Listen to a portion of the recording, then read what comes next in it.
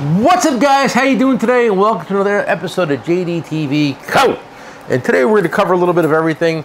And I wanted to talk about pliers. I was, walk, I was watching last night. I was watching the YouTube, and one of my favorite YouTubers. Who, who's one of my favorite YouTubers, Nick?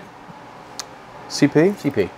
And he was talking about made in Taiwan, made in China, made in America. Okay? And he was saying literally what I always said is that the gloves are off. There's no way we could possibly be a made in USA society these days because it just we're a global economy. The internet has made us a global economy. In order to compete on any level, you're gonna have to do a little bit of importing and exporting. I was talking to somebody on the way to work today. One of our Joe's going to a baseball game with him next week. Okay. Mm one of our uh, friends who's a manufacturer of tools, and he was at a tool show and some guy was yelling about him, yelling at him about being made in America, starting to make, make, make made in America stuff. I wonder what show it was. So this, so this person said to him, "You should start a made in USA company, and in two months I'll buy it when you go out of business." it's true. Does he need a partner? Does he need a partner? Yeah, he needs a partner. But yeah, it's crazy. I mean, like, we, now listen, what's here made in China? I want them something made in China. Okay, these pliers are made in China. These cutting pliers, they're pretty good. Okay, and we sell them for I don't even know what price, 16, 18 bucks, something like that. Twenty bucks. Doesn't even matter. I sell them on a tool truck predominantly because it's a really good pair of pliers, and my guys love them, and I get about twenty nine dollars from on a tool truck, and I'll put them up against anybody's. But that's not what we're here to talk about. It's got my name on it too. These are made in China. Okay? These we had made for us from our friends at EZRED. And it's a three-piece set of pliers. These are made in Taiwan. Great quality. Great pliers. And then we have our three-piece cutting set that's also made in Taiwan. Nick, how much are these? These are 50 bucks, right? Yeah, 50. 50? 69. 65. 65? Okay, so that, that's that's a pretty good price. And they're, they're good tools, and they offer a lifetime warranty. We've sold a lot of them at this point very, very few issues. A couple guys had a broken tip on a big one. Yeah, I know what the hell they were using them for. Well, if they're pliers. It's a hammer. It's anything you want it to be. But, you know, it, it's things have been changing. Guys are pulling out of China. Not that one. Guys are pulling out of the country of China for manufacturing because they don't want to deal with what's going on in the world with tariffs and communism. So where do we all go? Where do we go? Another nice communist state. Yeah. Uh, Vietnam. Vietnam. I mean, I guess communists make good tools. Do you think it's because they make good tools, or they're told to work, don't say nothing, and work cheap? Forced labor, definitely. I think it's the latter. the latter. But are I you actually, or maybe, or maybe you have people that actually want to work. Yeah, but I mean, like you know, I mean, like, and it's funny because like Milwaukee really did a nice job with these pliers. I think they're second to none. I really think these are a work of art. They did a really good job with them. And not only did Milwaukee come out with this three-piece hose plier set for 114, 115? 115. 115? 114.99. Everybody had 115, 114.95. That's why they confused me. But like, a lot of companies have the hose hose clamp hose removing pliers. But Milwaukee did a little something. They gave it full serrations that work and a spot to grab a nut or bolt or something like that if you have to. Most don't have that, but they did it. Three-piece set. In innovation, the more you open them, the thinner they get Everybody else is everybody else. The more you open it, the wider it gets. But they really did a good job with these. They're geniuses over there. But it's Vietnamese. I mean, if you have a problem with Vietnam tools, then maybe they ain't for you. But I mean, like, you don't have much of a choice these days, guys. Does anyone make a hose pliers set in the USA? Not that I'm aware of. The only person that would make a pair of ply, a pair of hose clamp pliers, hose clamp, hose removing pliers, would be Channellock, and I do not think they make one. Back in the day when I was a Mac, uh, I'm sorry, when I was a field Mac tool dealer, there was a company called American Plier Company, and they made a three-piece set of hose clamp, hose remover pliers that were made in USA. But boys and girls, those days are long gone. I'm sure the company is now defunct. They're probably selling rubber. What? A rubber dog shit. Rubber dog shit. So they came. So Milwaukee also came out with these. This is a two-piece plier set. You googling me? Are you fact checking me? Yeah, the only thing I see that's made in USA is the Lisle radiator hose removing pliers. Okay. That's made in USA? Yeah, stamp steel. Lisle makes a lot of stuff in USA, guys, but they can't make everything because it's just not feasible. Extra long, needle nose pliers, straight, and is that a 45 or 90? Don't test you. What is that? That's a 45. Ah, Joe, 45. you guys are good. And again, they they gave, I like what they did here. They gave us some some special shapes on there, so you can grab nuts, bolts, stuff like that. So you could use it for what it's not supposed to be used for. So, cause, dude, let me tell you something. If you grab the Sunex or a Snap-on one of these and try to get a bolt, it would just go. It wouldn't even slow down. At least Milwaukee tried something different, trying to be innovative. Speaking of innovation, did you have you seen the new Milwaukee Impacts yet? I haven't physically seen it. You seen a picture of it? Seen pictures of it. What did they do to it, Nick? To make what's the new thing they made? They did to the new half-inch Impact that's coming out soon. They put a battery isolation. Oh, the system on battery it. isolation system. Take the vibration out. Yeah. Do you think they're still going to use this? I, I would recommend them to. It looks a little. It looks a little loosey goosey. Guys, you don't want that battery jiggling around too much. You might want to hold it in place with one of these. That was one of the main questions people were asking. What's that? If it they fix that problem. I think we fixed the problem. I think with this and that, we'll never see another broken battery again. But I think it's going to need a little, uh, a helping hand to hold it gently in place, like Jesus caressing a baby's bottom. It's an old one. What do we what do we use that one for back in the day? Oh, the, um, the ratchet. Needlers. Oh, We're not going to talk about that. let me tell you something. I don't, you know what, guys? What can it possibly hurt? Gonna hold it. A, little- let me tell you You're still going to need it for the sawzall. Some guy Oh called up yesterday and asked if we'll work on the sawzall. I said that's probably the second best It's, selling. yeah, it's definitely what you want. The Use. Sawzall, the Sawzall is crying out for this thing. And listen, I I'm gonna double down on order extra because I think we're gonna need it more now than ever. What do you think about that? These pliers are finally in stock. This is the Lisle electrical disconnect pliers. These things are literally a work of art. Well, I, I think they could have done a little better with the, the, the quality control of them, but that's a fish for another fry. But the, the functionality of it is amazing. I use these. I did a full demo on these, and they really work nice. And if you don't have this in your toolbox and you're tired of breaking clips, trust me, this will change your life. Get a set.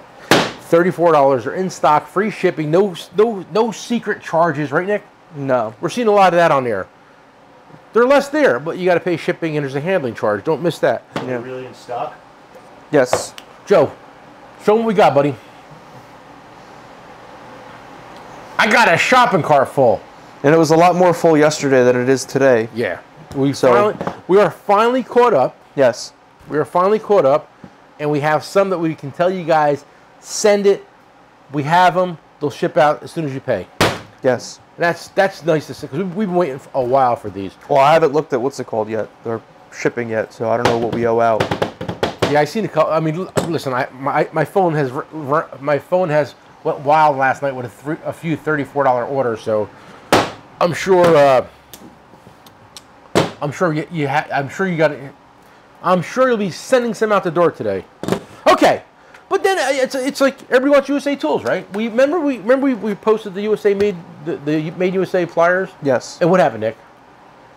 The internet lost their mind. Yeah. They said Knipex Knipex is better. Oh yeah, there's a lot of thirty-four dollars. I told you. on here. And I'm like, yeah, Knipex are great pliers, but this is an American company. We're trying to support American-made companies whatever we can. So we're going to try to get them in front of you guys. we're going to try to get the American-made tools in front of you guys so you can buy them. We'll give you the option to buy them. Okay.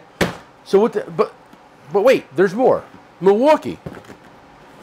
No, nobody has more money than Milwaukee, right? Nobody. What company has more money than Milwaukee Tool Company? Tool wise. Yeah. Don't say Snap-on because Snap-on owes Milwaukee $26 million. Do you know that? Yeah. Do You know that, Joe? No, but that, that's an interesting rabbit hole to go down. I'll go down it. You don't think I will? I think it's another episode, yeah. You can Google it right now, Joe. Google. Hey guys, Google it. Leave in the comments below if you know this. Milwaukee sued Snap-on for $26.9 million and won because they stole their battery technology. Oh my God, Snap-on stole something. Imagine that. They stole a lot of things. Made in USA. Milwaukee stepped to the plate and had their pliers made in USA. And you said, well, you're probably saying, well, why don't they make these in USA? Well, guys, give them time. They just opened the factory up and they're already shooting out. I don't. Do you know how many pliers they make now in USA? I don't. You don't, right? But it's, I'm sure it's more than these. It is more than these. Yeah, yeah. They make a just a set of dikes. Yeah, they make it. So they're, they're coming out. They're coming out strong. Give them a minute. It ain't easy, but they're uh, gonna be uh, up to par, up to up and running in no time. Look at it right there. They, and let me tell you something. They put it here, and they put it right there. And what's nice about these, these are not forged. These are laser made, and they did that because why? Do you know why they did that? To keep the cost down. Because when you're competing with uh, companies that make stuff in communist places and there's Or gun- yourself, Go, huh? or competing with yourself with your other. Well, I mean, you know, you're listen. You're listen. I, at the end of the day, they're. Tr- I think they're trying to bring bring it home. Do you ever hear? Well, I mean, their name bring is- it on home. Name is Milwaukee, so I mean, you kind of got to start making stuff in Milwaukee. Or you name it Ho Chi Minh.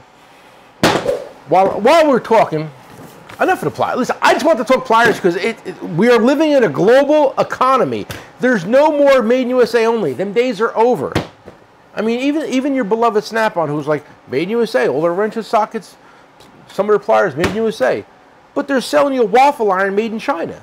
So they're just averaging down, right or wrong. It's just that's all it is. They'll sell you they'll sell you an electric toothbrush.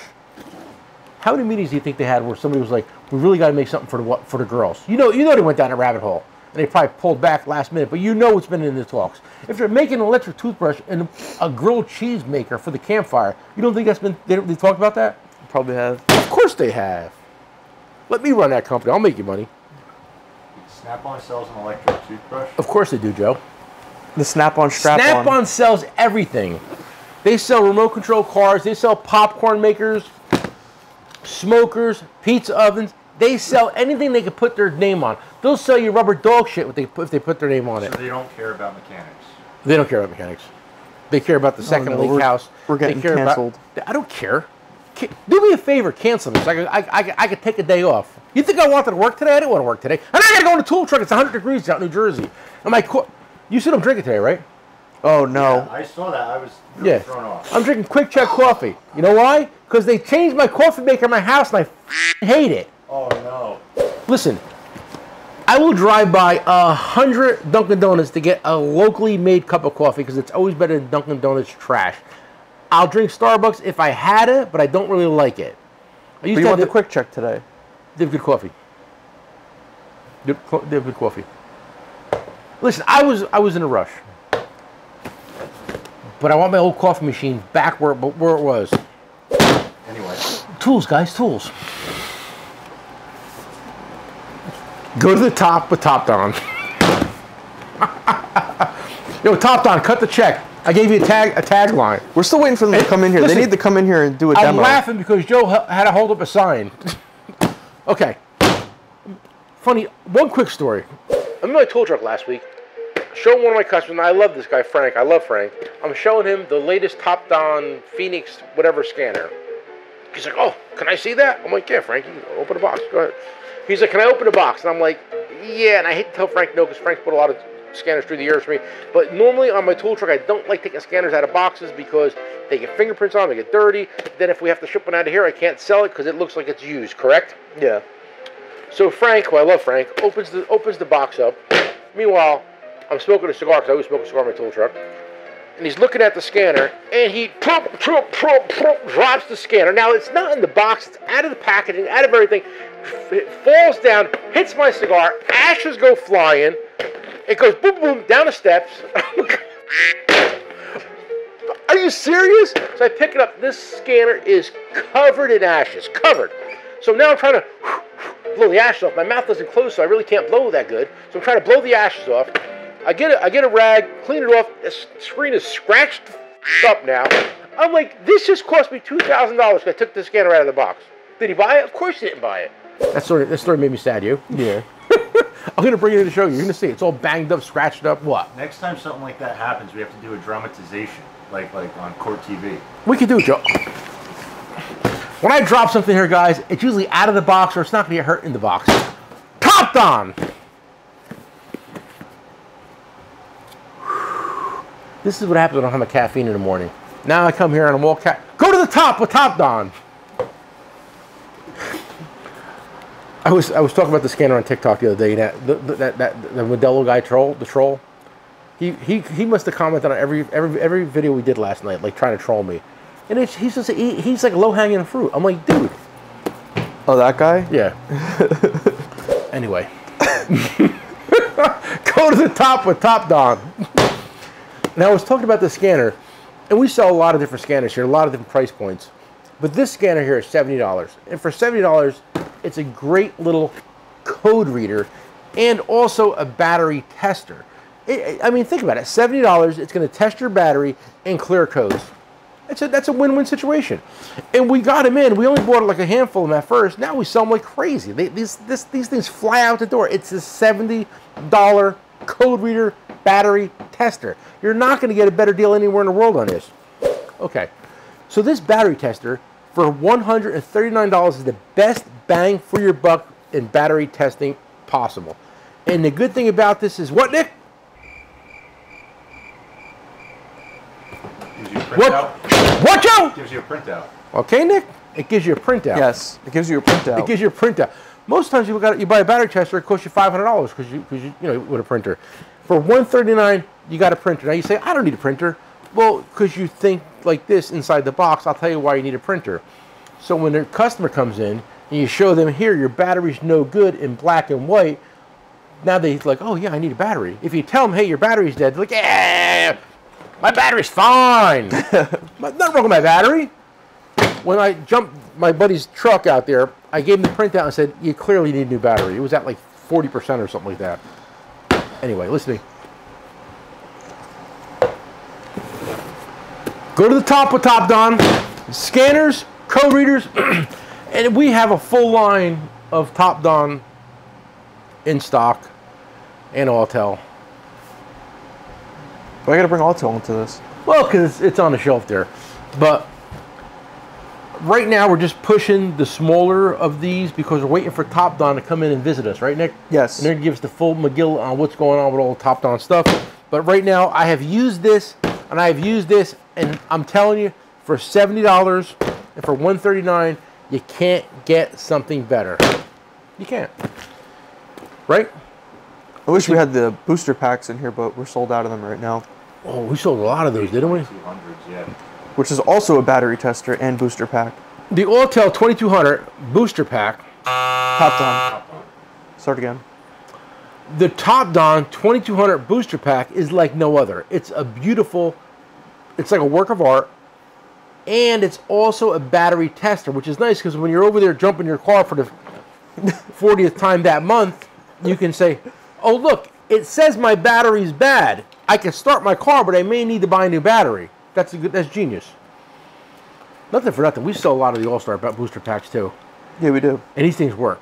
Yes. Clearly. I have one. I think this one got worn out. Nick, what do you think? I think so. All right, listen to me. My head's spinning. I need to get my caffeine allotment back up. Because people say I'm drinking. It's I'm, I'm caffeinated. Yeah, things would be really counterproductive if we started drinking at 9:30 in the morning here. It's nine twenty six. Yeah. I mean, I wouldn't mind it. I would just.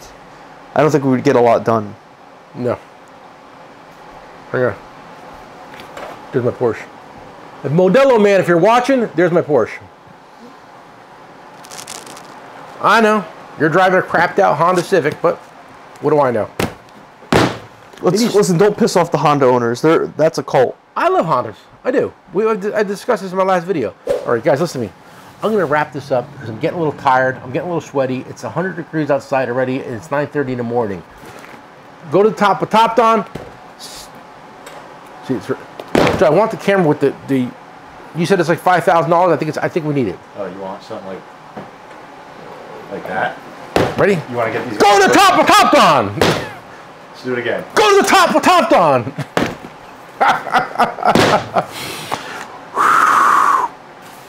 what? All right. Hey guys, like we always say, come for the price and stay for the show. Peace.